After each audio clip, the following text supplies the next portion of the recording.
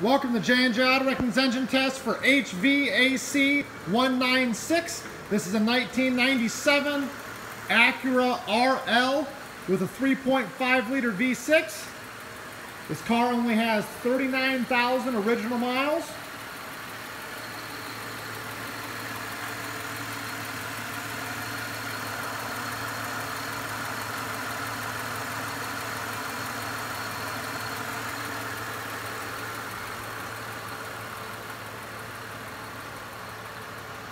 She had a light bump in the right side.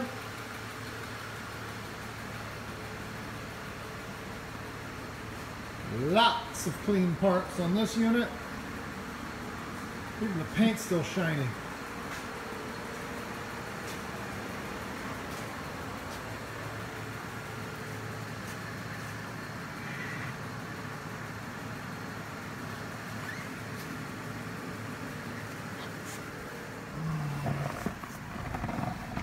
39,285 miles.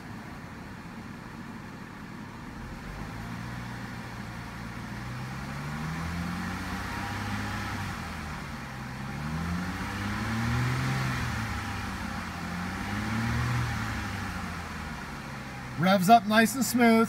It's also worth mentioning I did drive this vehicle in. It drove in fine. It's got a, a, a bent flat rim up in the left front, but other than that, um, shifts fine, engages well, and uh, uh, the, the, parts that are good on it are very, very nice. So I look forward to selling a lot off of this car.